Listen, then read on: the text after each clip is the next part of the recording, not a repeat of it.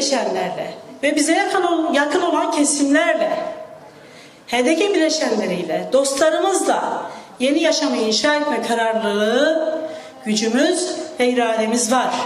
Pratik eksikliklerimizi aşarak ve var olan yöntemlerimize yeni yöntemleri ekleyerek toplumsal örgütlenmeyi ve meclisteki temsiliyetimiz olan Halkların Demokratik Partisi'nde siyaset yapan arkadaşlarımızın sözümüzü söylemesini sağlayabiliriz, sağlıyoruz. Bunu daha güçlü bir şekilde ve daha kapsayıcı bir şekilde en geniş demokrasi ittifakını kurarak devam ettirebiliriz, ettirmeliyiz. Bu bizim önümüzde tamamlanmamış bir ödevdir.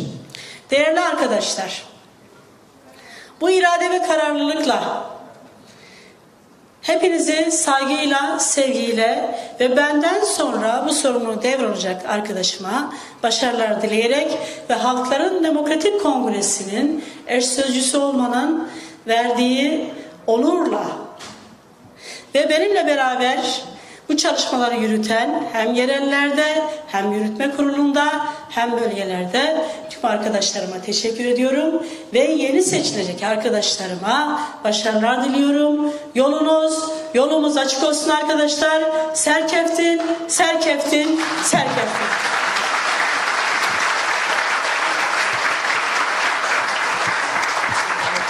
Ah. Biz de konuşmaları, açılış konuşması gerekçesiyle Sayın Eş Genel Sözcümüz İdil Uğurlu'ya çok teşekkür ediyoruz. Şimdi de açılış konuşmasını yapmak üzere Halkların Demokratik Kongresi Eş Genel Sözcüsü Sedat Şenoğlu'nu davet ediyoruz. Buyurun lütfen.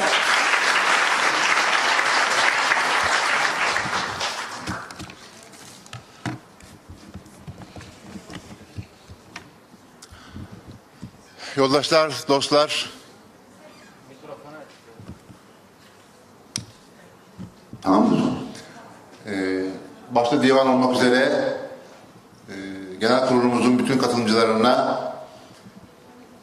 saygılarımı, sevgilerimi sunuyorum. İyi ki geldiniz, hoş geldiniz. Buradan e, hayata, zamana, geleceğe çok güçlü mesajlar e, vereceğiz. Buna yürekten e, inanıyorum. E, çünkü e, HDK'yi konuşmak burada, HDK'nin genel kurulunda HDK'yi konuşmak sadece Türkiye'yi konuşmak değil, Orta Doğu'yu konuşmak değil, dünyayı konuşmak aslında. Çünkü HDK'yi HDK yapan e, felsefe, onun fikriyatı, onun e, zihniyeti, onun programı, onun e, bütün dünyayı e, kapsıyor. Bütün dünyanın aslında şimdi bu kapitalist, emperyalist, sömürgeci sistemin, bu zulüm düzeninin, bu adına uygarlık denilen zulüm düzeninin değişmesi için başka bir dünya, insan oluruna yakışır, insanca, eşit, adaletli, özgür bir dünya için HDK yola çıktı. Tabii ki HDK bu toprakların kendi özgün deneyimlerinden, birikimlerinden güç aldı. Ama kesinlikle biliyoruz ki, kesinlikle biliyoruz ki HDK'nin gündemine aldığı her sorun, daha doğrusu Bolivya'daki bir köylünün de, İkizler'deki bir köylünün de, İstanbul'daki bir işçinin de ya da Ekvador'daki bir işçinin de dertleri aynı, sorunları aynı, araçları aynı. Çünkü onlar bütün dünyayı ezilenler, halkları, kadınları, gençleri aslında birbirleriyle rekabet eden belki ama birbirle savaşan ama aslında aynı programı uygulayan bir dünya aklının, bu emperyalist aklın baskısı altında, sömürüsü altında. Haliyle HDP'nin inşa etmek, etmek istediği çözüm işte bu insanlık için büyük yıkım anlamına gelen, halklar için büyük yıkım anlamına gelen, doğa için büyük yıkım anlamına gelen insanlığı bugün felakete sürükleyen, yaşamı yok eden, toplumsallığı yok eden bu ortak programa, bu kapitalist programa, onun paradigmasına, onun anlayışına karşı işte bunu ortadan kaldırma, onların her türden gerici iktidarını, faşist iktidarını, emperyalist iktidarını, kapitalist iktidarını na karşı dünya insanlığının on binlerce yıldır biriktirdiği ve mücadelesini sürdürdüğü büyük özlemlerin, büyük mücadelelerin amaçlarını gerçekleştirmek istiyor HDK. HDK'ye böyle bakmak e, gerekiyor. Bu neden önemli? Şundan önemli. Belki bu dünyayı, dünyamızı, yer küreyi kazıp kavuran çelişkiyle ilgili çok şey söyleyebiliriz. Söylenecek de zaten yani. Hepimiz burada bunları söylemeye devam ediyoruz. Burada bunlar daha da zengin hale e, gelecek, çeşitlenecek. Gerçekle yüzleşeceğiz daha güçlü bir şekilde muhakkak. Ama en net olan şey şu. Dün belki teorik olan, daha soyut olan, daha genel olan şey bugün yaşamlarımızda, hayatlarımızda dünyanın bütün ezilenleri, bütün haklarının, Türkiye'nin, Kürdistan, Orta ve dünyanın bütün haklarının bir yol ayrımına geldiğini e, görmemiz lazım. İnsanlık bir yol ayrımındadır. Bizi bekleyen tehlike bu kadar büyük. Hali bizim görevlerimiz de bu kadar e, büyük. Eğer gerçekten eğer gerçekten insanlık emekçi insanlığın bütün özneleri, bütün sınıfları, bütün hakları şimdiyi yarını yaratan şimdiye müdahale etmezlerse kendi hayatlarını, geleceklerini ellerine alan bir irade, bir ortaklaşma, bir birliktelik her coğrafyada ve dünyada sağlamazlarsa evet insanlık hakikaten yok oluşa e, doğru gidecektir. Bu bunu durdurmamız lazım. İşte görevimizin büyüklüğü buradan e, doğuyor. Bu dediğim gibi dün teorik daha çok belki ama bugün öyle değil. İşte doğa doğa olmaktan çıkarıldı artık metalaştı her şey. Toplum, toplum olmaktan çıkarıldı. Toplumu toplum yapan, insanlık kültürünü insanlık kültürü haline getiren, onu bir tarihsel varlık haline getiren bütün değerler, dayanışma, paylaşım bunların hepsi yok ediliyor. Haliyle arayışımız ve mücadelemiz böyle geniş bir ufka, büyük bir zaman algısına sahip olmak zorunda. Aslında hepimiz, buradakiler, buradakiler dışarıdakiler hepimiz. Bunlara belki her gün söylüyoruz. Birbirimize. Mücadele de ediyoruz kuşkusuz.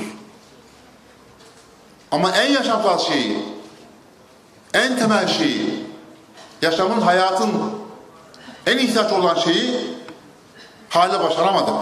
Bunu kabul etmemiz e, gerekiyor. Bununla yüzleşmemiz gerekiyor.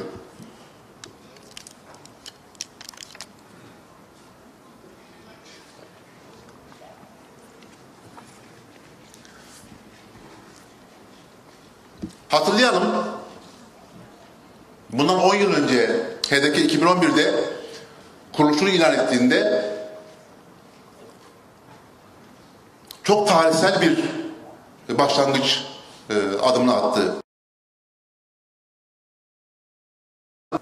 Tabii dünya tarihinin, ezilenlerin mücadelelerinden doğan büyük bir birikimle, ortak bir akılla, ortak bir iradeyle zamana müdahale etti. Aslında gerçek de o andan itibaren Türkiye'de ve Kürdistan'da toplumsal ve politik hayat aslında başkalaşmaya başladı. HDP'nin üçüncü yol dediğimiz paradigmasını açtığı yolda. Ama bugün bugün 10 yıl sonra baktığımızda biz o yolun neresindeyiz? Ne kadar yürüdük? Ne kadar güçlü yürüyebildik? HDP'nin programında formüle edilen, tanımlanan halkların işte onun tüzüğü var. En kapsayıcı anlamda bütün ezilenlerin mücadele birliği ve zeminini ne kadar başarabildik ve niye başaramadık? Neden hala bu topraklar işte hepimizin bildiği gibi büyük bir kapitalist soygunun, sömürünün, büyük bir faşist baskının, kontrgerillacı, mafyacı bir devletin zulmü altında inlemeye devam ediyorsa ediyor Ve milyonlar bunun her gün, her saat, her dakika büyük acısını çekiyor. Bundan kurtulmak istiyor. Yeni bir yaşam özlemi duyuyor. Ama güçlü adımlar atamıyorsak o zaman dönüp kendimize soracağız. HDP'yi var eden, yaşatan, oluşturan o akıl, o ortak akıl, o tarihsel sorumluluk, o irade birliği, o gelecek ufku bunun ihtiyacı mı ortadan kalktı? Hayır. Hayır tam tersi. Tam tersi. Bugün bu bu birliğe, bu yola, bu çözüme bu toprakların çok daha ihtiyacı var. Ama dediğimiz gibi muhakkak çok büyük bedeller ödendi. HDP'nin kuruluşuyla e, bi- birlikte çok büyük başarılar da elde edildi. Edilmedi değil. Onun partisi HDP 7 Haziran'dan sonra 7 Haziran'la birlikte Türkiye'nin toplumsal ve siyasi hayatına mührünü vuran bir güç haline geldi. Faşizmin kendi planlarının boşa çıkartılmasında, faşizmin teşhir edilmesinde, halkların kendi özgür iradesini açığa çıkarmasında gerçekten büyük bir rol oynadı. Ama yeterli mi?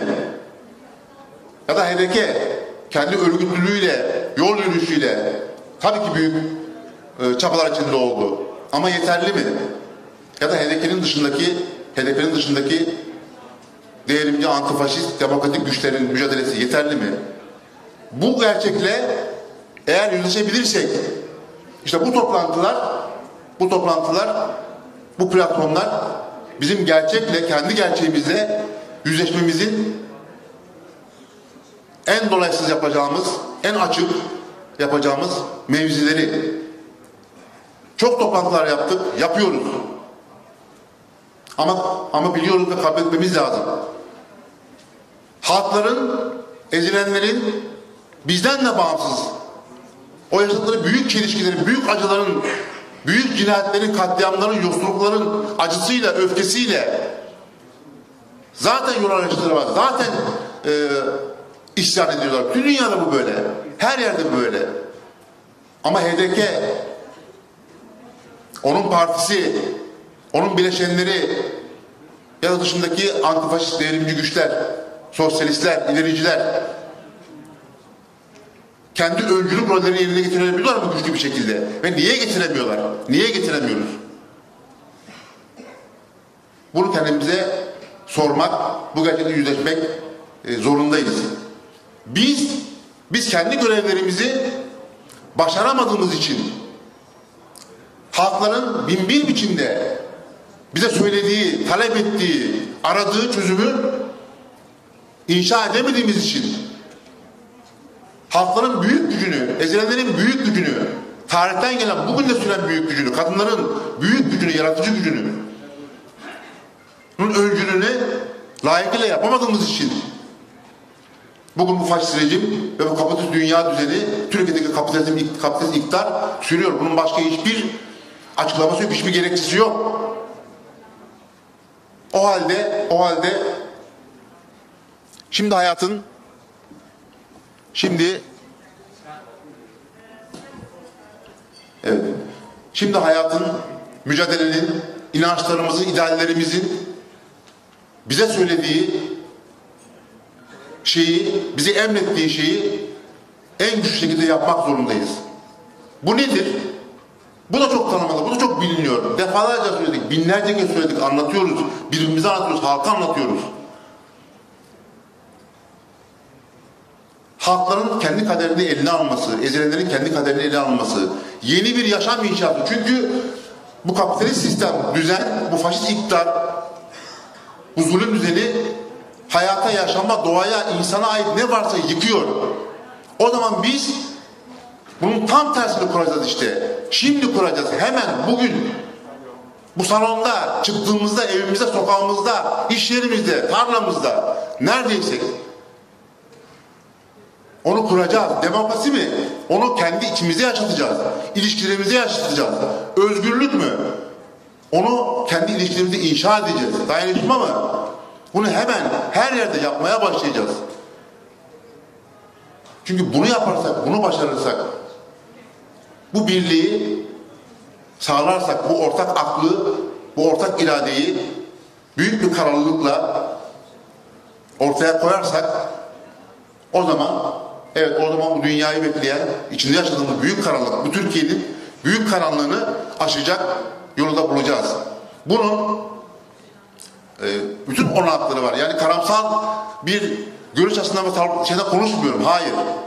Umuttan konuşuyoruz. Bunun bunun gerçek dinamikleri var. Bütün dünyada var. Bütün dünyada emekçi insanlık aynı arayışın içerisinde özgür, onurlu, insanca bir yaşam istiyor. Doğayla barışık bir yaşam istiyor. Sömürünün olmadığı, sınıfların olmadığı, savaşların olmadığı bir yaşam istiyor.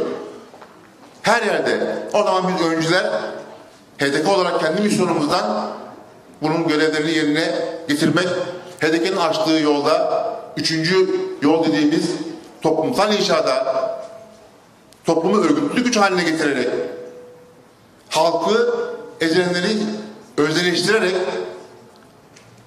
faşizme karşı direnerek ve birlikte olarak yolumuzu aşmamız gerekiyor. Ben e, kongremizin bütün bu sorunlarda, bütün bu açmazlarda ve bütün bu araçlarda hem kendi inşa edilmiş aklına dayanarak hem Türkiye'deki büyük mücadele, halkların büyük mücadelesinin deneyimlerine dayanarak hem dünyadaki ezilenlerin, işçilerin, emekçilerin, halkların tarihsel deneyimlerine dayanarak bunların bütün birikimiyle ama aynı zamanda kendi varlığını, kendi varoluşunun eleştirisi de yaparak buradan kendi tarihinin al- aldığı güçle e, çok büyük sonuçlara yol, aç- e, yol açacağını, umudumuzu, irademizi, kararlılığımızı büyüten sonuçlar yaratacağına yürekten inanıyorum.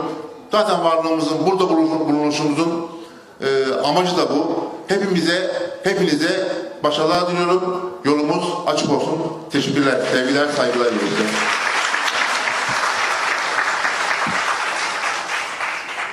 Sayın eş sözcümüz Sayın e, Sedat Şenol'un konuşmalarından dolayı teşekkür ediyoruz. Şimdi aramızda olan konuklarımız da var. E, tipten yoldaşlarımız burada ve e, başka bir program nedeniyle de erkenden ayrılmak durumundalar. Bu nedenle selamlama konuşmasını yapmak üzere e, Türkiye İşçi Partisi'nden Sayın Barış Atay'ı buraya davet ediyorum kürsüye. Buyurun lütfen.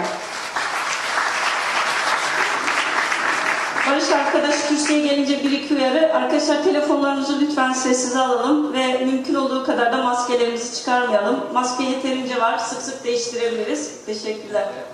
Konuşanlar hariç.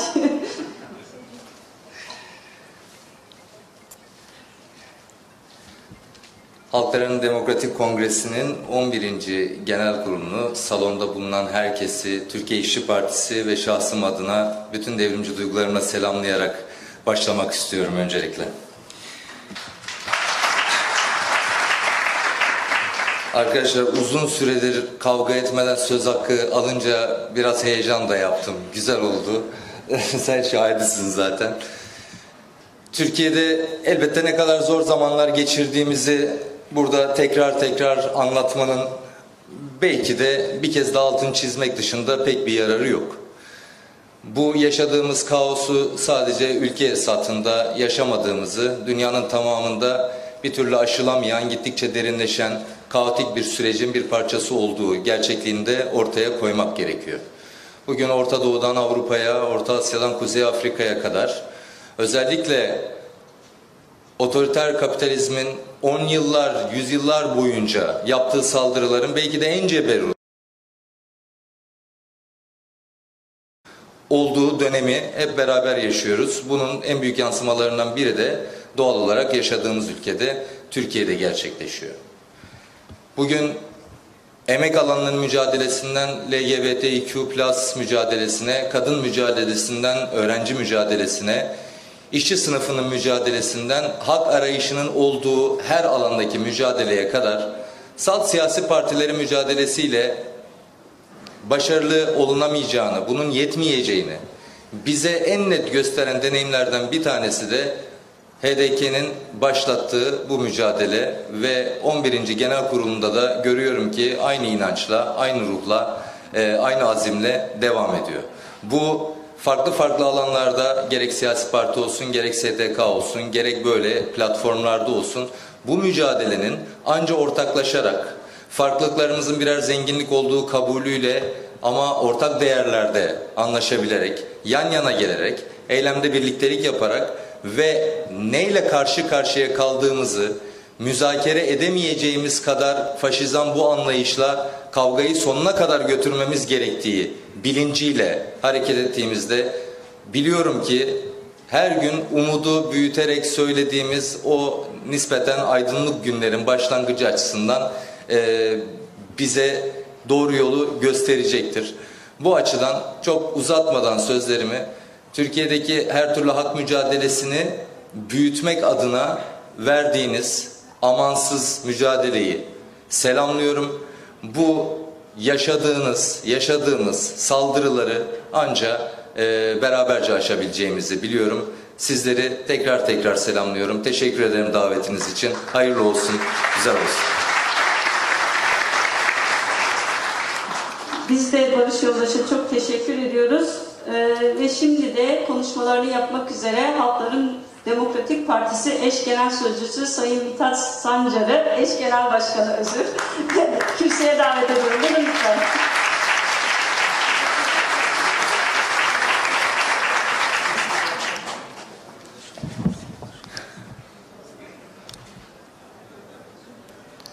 Sevgili dostlar, bu önemli dönemeçte gerçekleştirdiğimiz genel kurula hepiniz hoş geldiniz, sefalar getirdiniz. Munhamuk hayratın, serseranatın, serçavanatın, ehlen ve sehlen bikin, selam ecitin, bimit vernecitin. Değerli kardeşlerim, sevgili yoldaşlarım, Türkiye'nin tarihi dönemeç sayabileceğimiz çok çeşitli dönemleri olmuştur. Çok çeşitli gelişmeleri kritik olarak adlandırdığımız dönemler yaşadık. Bu dönem de onlardan biri ama sanki biraz daha farklılaşıyor. Çeşitli vesilelerle söylemeye çalışıyoruz. Bir, karar anına 2015'te başlayan özel savaş, topyekün savaş anlayışının sonunu getirebileceğimiz bir finale doğru ilerliyoruz. Ya hep birlikte bu düzeni durduracağız, değiştireceğiz ya da savaş aygıtı kendini yenileyerek yoluna başka yöntemlerle devam edecek ve 10 yıllarımızı halkların özgürlüğü, barış umudu ve demokrasi isteğini bastırabileceği 10 yılları yaşamak zorunda kalacağız. O nedenle durumun ciddiyetinin her daim farkında olmak zorundayız. Birbirimize de bunu hatırlatmak bir görevimiz, bir görevdir aynı zamanda. Sevgili arkadaşlar, öncelikle Sedat Peker'in ifşaatlarıyla ortaya çıkan tabloyu doğru adlandırmak gerekiyor. Eğer bu finali iyi, güçlü, etkili bir şekilde geçmek ve sonuç almak, kazanmak istiyorsak neler olup bittiğini doğru tanımlamak zorundayız. Bu tablo 2015'te yürürlüğe giren yeni topyekün savaş konseptinin çöküşünün, çözülüşünün açık itirafı ve ifşaatıdır. Evet, buraya 2015 konseptinden geldik. Neydi 2015 konsepti? Israrla anlatmaya devam etmek zorundayız. Çeşitli vesilelerle, konuşmalarda bunu dile getiriyoruz ama bir kez daha hatırlatalım. 2015 konsepti çözüm sürecinin bitmesinden sonra oluşan yeni devlet ittifakının özel savaşı topyekün sınır içinde ve ötesinde topyekün bir plana dönüştürdüğü politikaların adıdır 2015 konsepti. Çözüm süreci ne zaman bitti diye sorarsanız resmi olarak belki daha geç tarihler dile getirilebilir ama esas olarak 5 Nisan 2015'te bitti. Çünkü çözüm sürecinin ana aktörü ve devlet yetkililerinin ana muhatabı Abdullah Öcalan'la son görüşme 5 Nisan'da yapıldı. O nedenle biz tecridi özel savaş politikalarının bir sonucu ve en önemli kanıtı olarak değerlendirirken bu gerçekleri de hatırlatmış oluyoruz. Tecrit özel savaş politikalarıyla eş anlamlı eş anlamlıdır. Aynı anlama gelmektedir. Çünkü o tarihten sonra başlayan şey Kürt sorununda çözümsüzlük, inkar, imha ve savaş politikalarıdır. O günden bugüne de tecrit derinleştirilerek devam ediyor. Buradan çıkış bu özel savaş konseptine karşı güçlü bir toplumsal mücadeleyi örmekle mümkün olacaktır. 2015'te 7 Haziran'da bu iktidar daha doğrusu AKP ilk defa kurulduğu tarihten beri ilk defa tek başına hükümet olma çoğunluğunu kaybetti. O gün bugündür bu rejim dikiş tutmuyor. Yeni ittifaklar aradılar, buldular da. MHP ile ve diğer özel savaş güçleriyle ortaklık kurdular. Bu ortaklığın temel harcı Kürt düşmanlığıdır değerli arkadaşlar. Kürt düşmanlığı üzerinden demokratik bütün talepleri, özgürlük arayışını, yeni yaşam umudunu, barış özlemini bastırmak için her yola başvuruyorlar. Sokağa çıkma yasaklarını, şehir ablukalarını ve orada yapılanları hatırlayalım. Sonra dokunulmazlıkların kaldırılmasını unutmayalım. Belki bir ayrıntı pek aklımıza gelmiyor sık sık. Dokunulmazlıkları kaldıran anayasa değişikliğinin onaylandığı tarih de 7 Haziran 2016'dır. Yani 7 Haziran'da AKP aldığı o ağır yenilginin acısını hiç unutmadı. Nitekim önceki gün ya da dün müydü? Evet dün AKP Genel Başkanı bunu açıkça ifade etti. Tutuklamalar, keyfi gözaltılar, yargılamalar, cezalar her alanda devam etti.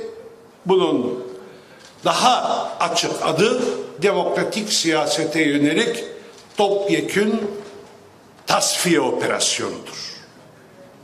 İşte bu iktidar Kürt sorununda savaş anlayışını, topyekün savaş politikalarını devreye soktuğunda bunun sadece militarist yöntemlerle gerçekleştirilmek istendiğini sanmayalım. Hayır. Her türlü askeri aracı kullanıyorlar.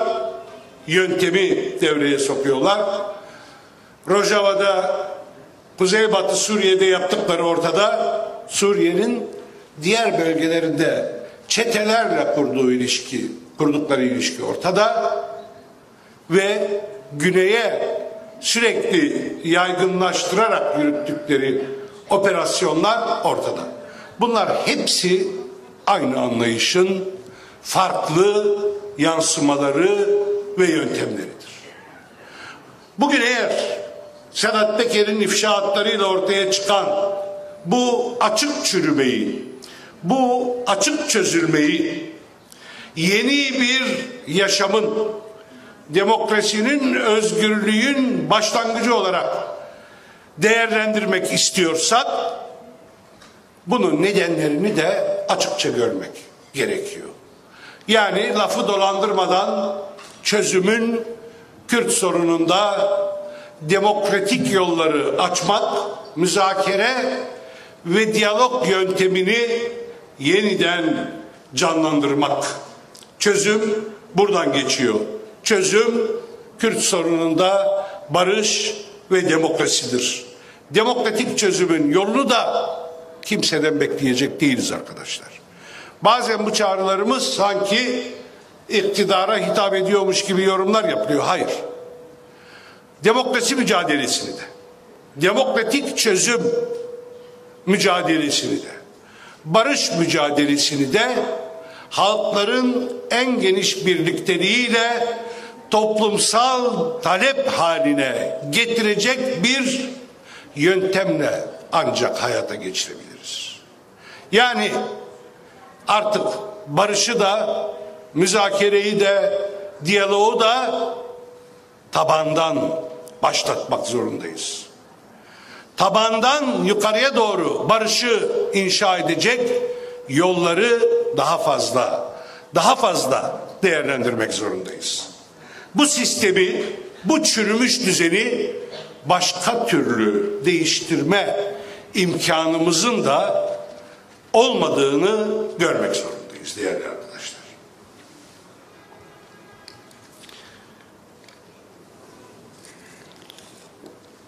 Şimdi gördüğümüz tablo bize kökleri çok daha eskilere uzanan Gladio'yu hatırlatıyor. O Gladio'nun özerk bir yapı olduğunu bir kez daha hatırlayalım. Yani bu devletin içinde özerk bir Gladio vardı. Her zaman vardı.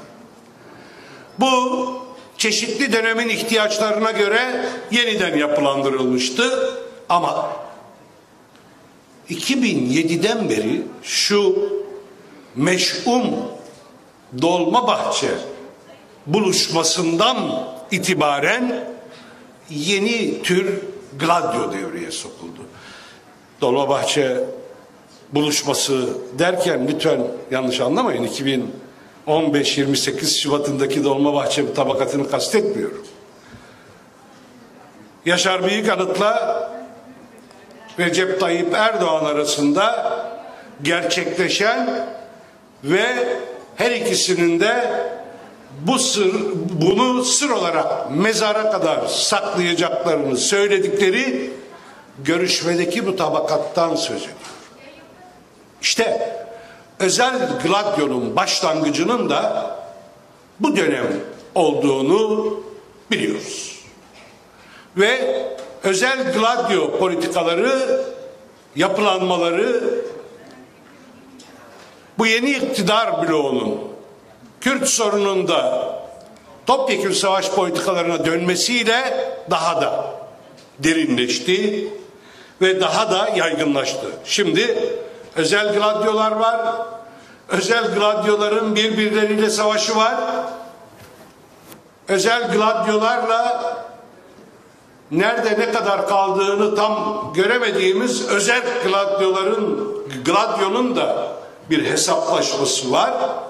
En azından özel gladyolar ile özel gladyonun tarihi arasında ve bugüne yansımaları arasında da bir çıkar, bir iktidar savaşı var. Bu savaş kayıtsız kalabileceğimiz, magazinel yaklaşımlarla ele alabileceğimiz bir mesele değildir. Toplumun bugününü, geleceğini doğrudan ilgilendiren bir durumdur. Geçmişe dönük yüzleşme, hesaplaşma ve adalet talebimizi gerçekleştirebilmemiz için dönüp dikkatle takip etmemiz gereken bir kapışmadır. Bu iktidar neden bu dönemde bu şekilde bir çözülme yaşadı diye sorarsanız sevgili arkadaşlar bu iktidarların bu tür iktidar koalisyonlarının bir arada kalabilmesi için özel rant paylaşımının düzenli yürüyeceğine her bir aktörün güvenmesi gerekiyor. Yani iktidarın özgüvene sahip olması, gelecekte de varlığını sürdüreceği konusunda bütün o paydaşların bir güvene sahip olmaları gerekiyor. Eğer iktidar sarsılmaya başlarsa, eğer iktidar bloğu geleceğini güvence altında görmeyeceği bir ortama girerse kapışmalar başlar. Açık söylüyoruz. İktidar bloğundaki bu iç kapışmanın en önemli nedeni Halkların Demokratik Kongresi ve Halkların Demokratik Partisi ile bütün diğer demokrasi güçlerinin yürüttüğü ortak mücadeledeki kararlılıktır. Eğer burada sağlam durmasaydık, eğer bu baskılara zulme boyun eğseydik, bugün bu hesaplaşma olmayacaktı. Yeni rant alanları yaratacaklardı, yeni paylaşım yolları mutlaka bulacaklardı. Ama şimdi herkes kendinden korkuyor. Çünkü özel savaşı finanse etmek için kurulan gayrimeşru yolların yarattığı büyük kirli ekonomi çok büyük, çok devasa ölçeklere varmıştır. Birbirlerinden pay almak birbirlerini yok etme mücadelesine dönüşecek kadar büyüktür bu kirli ekonomi. Ve herkesin diğerinin kendini satabileceği korkusu da aynı zamanda büyür. Çünkü kendini kurtarma kaygısı artık saklanamayacak biçimde ortaya çıkar. Bunu sağlayan şey mücadeledeki kararlılıktır. Eğer bizler bu baskılara boyun eğseydik, bu baskılar karşısında geri adım atsaydık, zayıflasaydık, çözülseydik, şimdi ortaya çıkan bu ifşaatlar, itiraflar, ikrarlar olmayacaktı. Evet bunu sağladık ama bununla yetinemeyiz daha fazlasını da sağlamak zorundayız. Yani bu kirli, bu çürümüş, bu kanlı düzenden kurtulmamız gerekiyor. Bu düzeni değiştirmemiz gerekiyor. Bu düzeni değiştirmenin yolu da ortak mücadeleyi güçlendirmek ve toplumsal örgütlenmeyi yaygınlaştırmaktır. Toplumda en küçük birimlere kadar ulaşacak bir örgütlenme yöntemini mutlaka harekete geçirmeliyiz. Mahalle meclislerimizi, semt meclislerimizi, meclislerimizi bütün birimlerdeki temsilcilik ve örgütlenmelerimizi hep birlikte kurmak zorundayız. Eğer böyle güçlü bir toplumsal zemin yaratabilirsek siyasal mücadelenin sonuç almasını da sağlarız. Bizlerin diğer muhalefet güçlerine, toplumsal ve siyasal muhalefet güçlerine çağrılarımız da var. Aslında siyasal partilere yönelik çağrımızın doğrudan muhatabı açık söyleyeyim parti yönetimleri değildir. Bizim siyasal muhalefete çağrımızın muhatabı o partilere oy veren, gönül veren dostlardır, kardeşlerdir, vicdanlı insanlardır. Adalet isteyen, demokrasi öz, demokrasiyi özleyen bütün yurttaşlardır. Biz onlara sesleniyoruz. Şüphesiz siyasi muhalefetin temsilcileri de bu sese kulak vermek zorundalar ama eğer kendi tabanlarıyla bu zeminde iyi ilişki, doğru ilişki kurabilirsek partilerin yönetimleri de tabandan gelecek basınca ve talebe kayıtsız kalamazlar. Burada elbette örgütlü ortak mücadelenin de önemini göz ardı etmemek gerekiyor. Emek meslek örgütlerinin, yurttaş inisiyatiflerinin, hak örgütlerinin, bağımsız kuruluşların, sivil toplum örgütlerinin, demokratik kitle kuruluşlarının bir araya gelebileceği, mücadele yollarını, yöntemlerini birlikte konuşacağı, demokratik dönüşümü, yeni yaşamı birlikte toplumun gündemine güçlü bir şekilde sokacağı mekanizmaları gecikmeden kurmak zorundayız. Evet vardır ilişkilerimiz birbirlerimizle ama bu dönemde bu yetmiyor arkadaşlar. Daha fazlasını yapmalıyız. İşte tam da bu noktada Halkların Demokratik Kongresi'nin yaşamsal önemi bir kez daha karşımıza çıkıyor. Halkların Demokratik Kongresi tam da bu amaçlar için kurulmuştu 2011'de. 10 yıl önce kongre kurulurken tam da bütün bu demokrasi güçlerinin çatısı olsun ve buradan çıkabilecek yeni mücadele yöntemlerinin tarlası olsun diye inşa edilmişti. Bu toprakta büyüyen ağaçlardan biri de Halkların Demokratik Partisi'dir. Ama biz biliyoruz ki Halkların Demokratik Partisi'nin yetiştiği toprak Hedeke'dir. Köklerimiz Hedeke'dedir.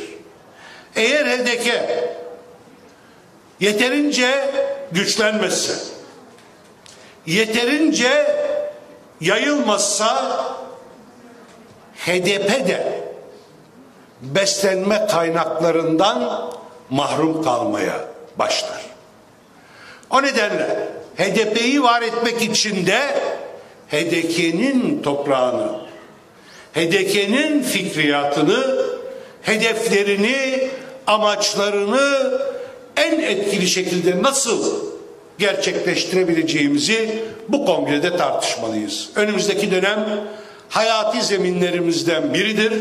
En önemlisidir HDK. Ortak demokratik mücadelenin örülebileceği en önemli zemindir. Bunun bilinciyle, bunun sorumluluğuyla hareket edileceğinden hiç şüphe duymuyorum. Buraya gelen bütün delege dostlar, burada bulunan bütün katılımcılar bu çerçeveyi, bu hedefi mutlaka